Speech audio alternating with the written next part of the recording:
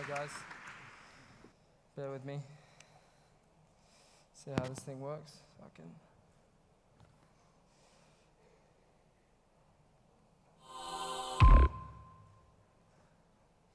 Do I just. I'm going back now. okay. Great. Uh, so uh, actually, originally our CEO Jesper was meant to be here, but he, he kind of spent the whole last month getting drunk and had to go to the ER, so he, he sent me instead. Uh, yeah, so I'm kind of new to this. Uh, I, ho- I, hope you can bear with me. Um, uh, I'm Thomas Howard, uh, as said, the head of mechanical engineering at Teenage Engineering. Um, and I'm here today to present to you the X files of teenage engineering. Uh, I guess to me that means uh, that I should probably have a look at uh, kind of some of the experiments and projects that we've done and, and maybe some of the thought processes behind that. Um, I, I, think it's easiest to start with our logo. It's a nut and a bolt.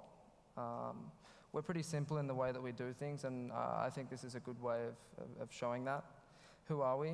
Uh, we're engineers, 35 of them, software, electronics, mechanical engineers, industrial designers, and we're mostly experimenting with consumer electronics. Um, and for the successful experiments, we're also doing the sales and logistics side of things. So uh, we're really proud of that, having the whole chain uh, in-house. It's a really essential part of our creative process. Uh, I wouldn't say that we're startup guys or entrepreneurs, anything like that uh, I think what we wanted to do was create a platform where maybe life could be a little bit more interesting or inspiring. So we have this studio in Stockholm uh, where we build a lot of stuff. It's mostly products, but it's also a place where we can kind of work on other, other projects that we might find fun. Uh, when we create something, we start from the ground up. So that means starting with the space, with the people, with the tools, uh, we like to keep things open and free so that we can kind of uh, move stuff around and explore these ideas freely. We love collaborations. Um, maybe we don't, we're certainly not experts at textiles, but maybe we can trade some code for some clothes. We do that kind of thing a lot. Uh, collaborations are also a really great way to meet people. Here you have uh, our head of audio engineering. He's doing some acoustic measurements with a consultant, and they're like best friends now. So I, I think that's pretty cool. Uh, this is like a, a typical workspace, uh, something that you might find in our office. We also have a big machine park. That's really important to us. Uh, basically, we have this idea that you know, if you have an, if you, if you have an idea, you, you, should be able to explore that without any limitations. That's really important to us. We're also not so big on, on thinking. We learn with our hands. Uh, you know, so, so we maybe make 10 prototypes, throw them around the office. How many people pick them up? That's a really good way of, of, of building a genuine interaction with an object and, and kind of yeah, I, I think that's cooler than you know, thinking about it a lot and staring at a computer screen. This is a PCB from, from our first product called the OP1, which I'll, I'll talk a bit more about later. Uh, on the other side of the PCB, we actually printed a, a, a map of Manhattan. What that means is that if we have a faulty board, we can say something like, we have a short down on the Lower East Side. We're, we're very much a, a, like a a cross-functional team, so we're always working towards developing ways of common understanding. We also have a small warehouse. We have bigger ones in, in Hong Kong and LA, uh, but I think the reason we still have a warehouse in Stockholm is that it, when you build a product, it's, it, it's really, really nice to be able to see the full cycle. So we see all the boxes coming in and, and we see the products getting shipped out to customers, and, and that's really, really inspiring, I think. We also work a little bit on cars and, and motorcycles. Uh, I guess you could say that for most of us, work and life are one. It, it's not really that we don't have lives outside of work, more that we're not afraid to bring life into work and into our workplace. Uh, so I'm going to give you a little bit of a background on some of the projects that we've done. Um, the first one was uh, like a family of 22 singing dolls.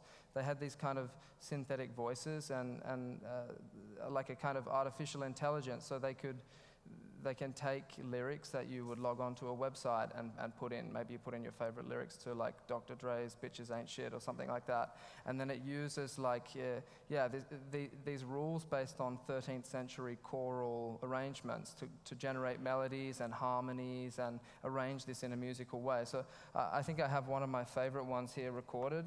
Uh,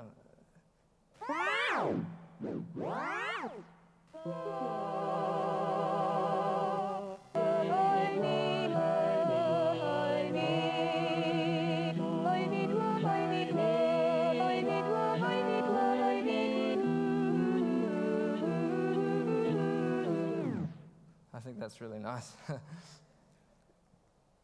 we also did a, like a project for IKEA. We did the world's cheapest camera. It was made from cardboard, and I think it sold for about nine euros or something like that.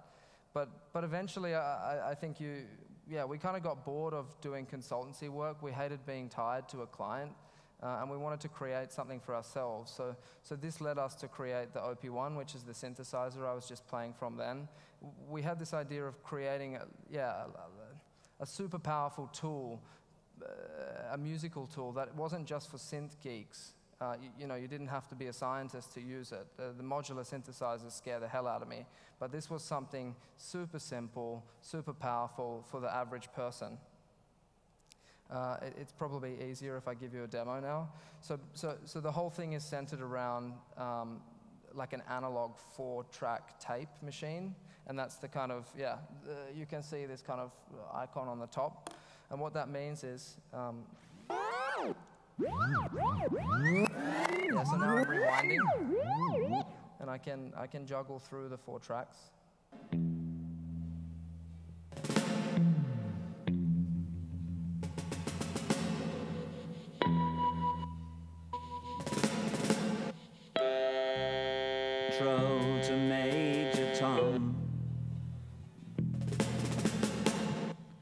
ground control to Major Tom.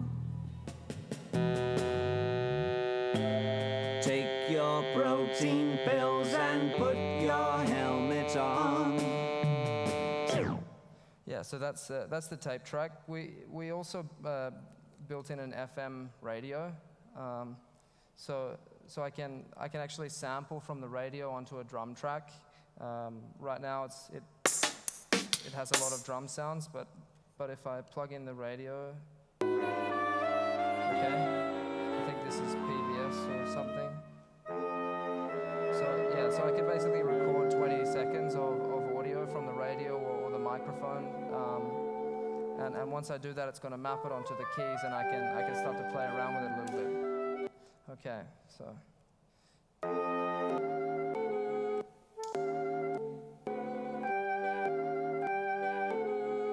Okay, so I like that one.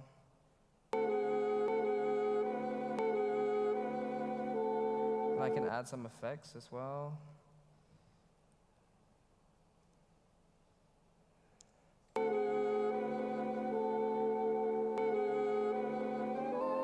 Oh.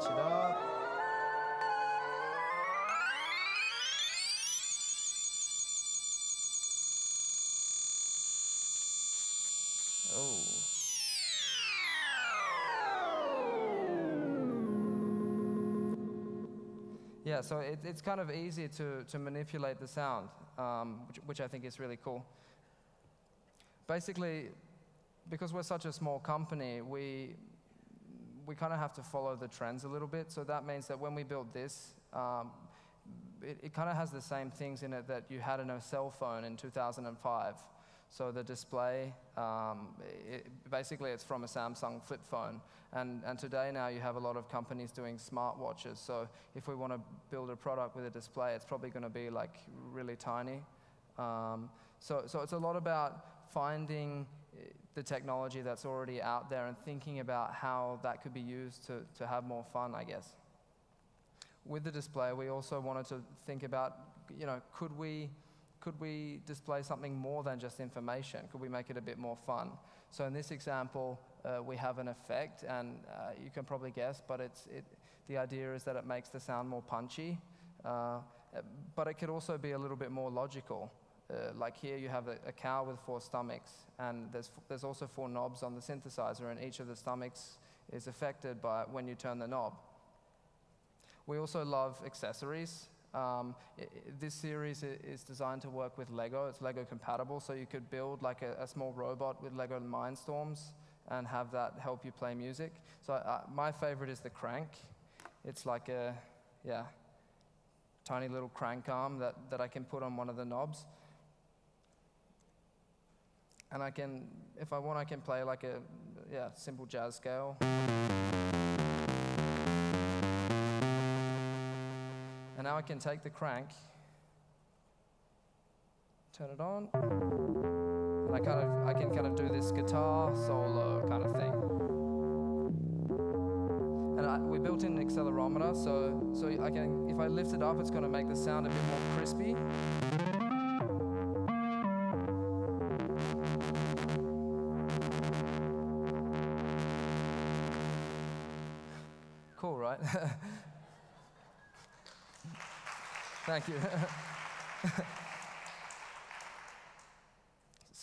More notable users, Beck was a, a beta tester, Depeche, Depeche, Mode used it a lot on their latest album.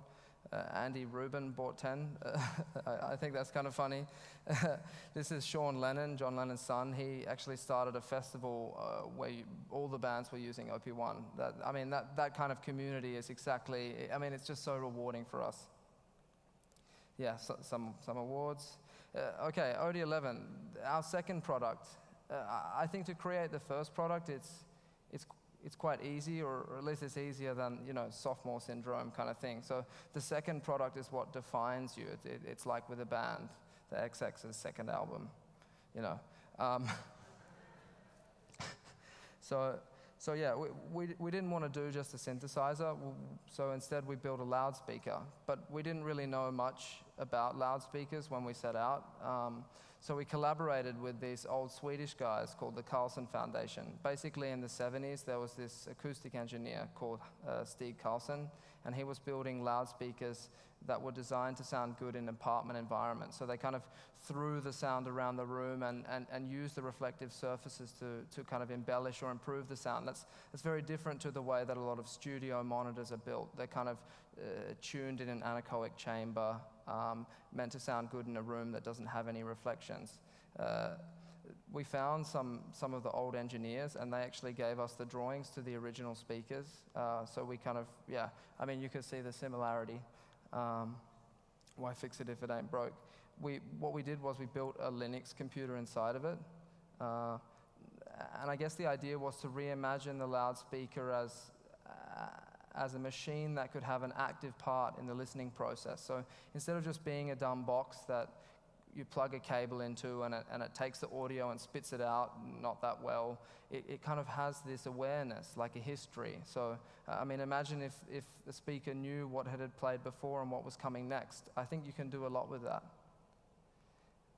So we also built a, a remote control. Uh, the form factor is exactly the same as a Swedish snusdosa, which is like a small tin of tobacco that every Swedish man has in his back pocket. Um, and, and, and when you turn it, we really wanted it to feel like, you know, when you would run into the lounge room and, and play with your dad's stereo. It kind of felt like launching a spaceship or something, that kind of, yeah. Um, there's also like colored variants, and each one of those, each remote can be linked to a playlist in Spotify. So every member of a household has their color, and, and they have their playlist that they can access at any time. We built an app. We have a strong connection to the tangible, and, and yeah, so, so the app is basically just the author remote. uh, and we launched that at the Museum of Modern Art Design store in December 2014. Uh, and yeah, pe people seem to like it. Um, I, I, think that we're not, we're not so afraid of, of not having all the answers. That's one of the special things about teenage. In this case, we built a box uh, or a platform, I guess, that, that we hope we can continue to build for years to come. It's a little bit like a cell phone. The more devices you have connected, the more you can do with it. Here's a concept for a wireless turntable. It comes flat packed, uh, so, so you have a bit of fun when you, when you receive it and you put it together, but it also helps us save on costs. The idea with this one is, is that it works with timecode vinyl, just like DJs use. But in this case, it's connected to Spotify playlists. So you have colored records, and each one of those links to a playlist in Spotify, which you can change at any time. But all of a sudden, your grandmother can use it. I think we're, we're all about pulling people away from the computer and the phone and, and encouraging some kind of interaction with music, active over passive listening. That's really important to us. The third product line that, that we released last year is called the Pocket Operators. The, the OP1 synthesizer sells for $849. It's, it's not so accessible. Uh, so we wanted to build a machine for more people. Uh, we set out with the pocket operators to sell them for $49, uh, but there was, yeah, uh, we failed that, uh, and so it's $59. Uh, but everything we're doing is, is with the goal of growing the synthesizer population. Uh, so we also had to experiment with a new model for distribution. So in this case, we collaborated with Cheap Monday, who gave us access to over 1,500 fashion stores. And, and for the first launch, we, we uh, released three different versions, and then we started to release them in, in, time with the, the kind of fashion cycle of releasing products too. So that was new for us. It's probably easier if I do a demo. Um, yeah, I, I, guess the idea was to, to kind of create something that was more like a game, uh, easier to play. But we also have this idea of maybe creating a new genre of music or, or a new musical movement. So imagine if Imagine if you create, like, a, you, you, you start a festival, but instead of booking any artists, when people arrive to the festival, they get a synthesizer of their choosing and they have five minute slot to play on stage. So yeah, we can imagine that's what I'm doing now, and I'm a guy who's never played this before. Um, so I'm just going to set it up for you. It's yeah, it's really thin. It's basically just a PCB, but I think it's quite a powerful, quite a fun machine.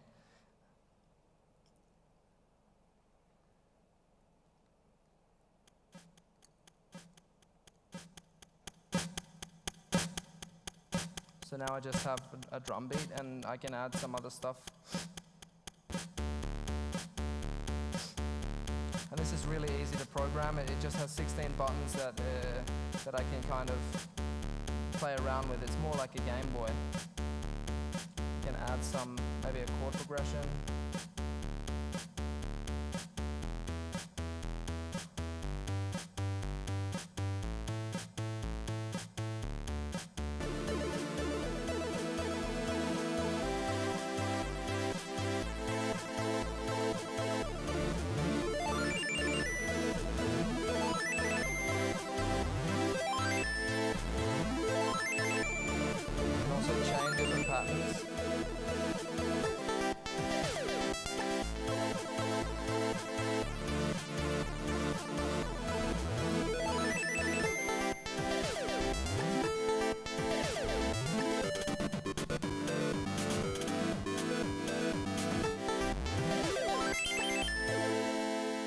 Yeah, I mean, yeah, so it's, it's, it's quite powerful. Um, thank you.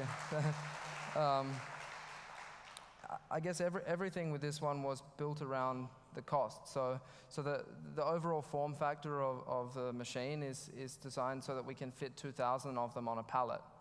And, and we also integrated uh, the hanger, which, you, which, which is used to hang the product in the store, right into the PCB, and that allowed us to save 50 cents.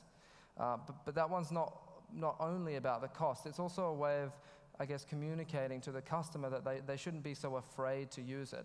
It's the same with the packaging. It, it, it kind of has this tab on the side, like uh, a little bit like a candy box. So, uh, so you just have to rip that open and then you can get started. I think, that's, I, I think it's really interesting because it means that, you know, packaging can also be in opposition to exclusivity. I think that's kind of interesting. Uh, one of the feedback points that we got was that yeah, pe people were a little bit unhappy that we skimped on the plastic case. Um, and, so we decided to release the engineering drawings for the device uh, and encourage people to build their own.